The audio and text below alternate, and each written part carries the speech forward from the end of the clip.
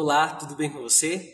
Seja bem-vindo para mais uma semana de reflexão e aprofundamento no estudo da lição da Escola Sabatina. Eu sou o pastor Diego, eu sou pastor escolar na Associação Paulista Sudeste e juntos estaremos aqui durante essa semana para a gente recapitular, nos aprofundarmos, para a gente aprender mais sobre a lição de número 3 do nosso trimestre, para todas as gerações. Durante essa semana, nosso foco será a narrativa do dilúvio, contida nos capítulos 6 a 9 do livro de Gênesis, que contém uma das histórias mais importantes de toda a Bíblia em vários aspectos que a gente poderia considerar. Por exemplo, é na história do dilúvio que aparece pela primeira vez palavras que vão ser importantes no restante da Bíblia quando o assunto é salvação. Por exemplo, arrependimento, maldade, justiça, graça, altar, holocausto e também a palavra aliança. A primeira vez que essa palavra aliança aparece nas Escrituras está em Gênesis 6, no verso 18, quando o texto diz assim: Contigo, porém, estabelecerei a minha aliança. Entrarás na arca, tu e teus filhos, e tua mulher, e as mulheres de teus filhos. Embora a gente admita que exista uma aliança no Éden, feita por ocasião da criação, é apenas em Gênesis 6,18 que a palavra aliança aparece pela primeira vez.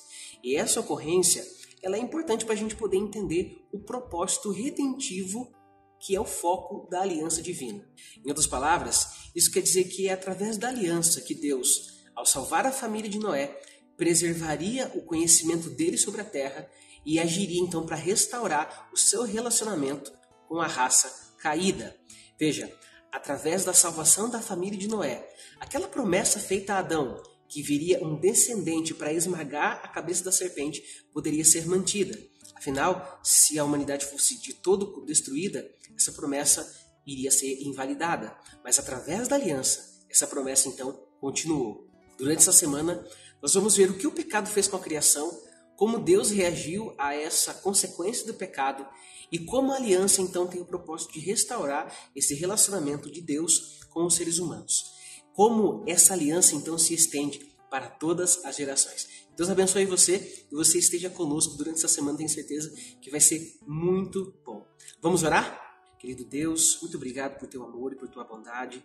Obrigado por ter entrado em aliança com os seres humanos. Essa aliança, ó Pai, que possibilita que a gente tenha um relacionamento mais próximo de Ti. Que ao entender isso, nosso coração transborde de alegria por Tua maravilhosa salvação.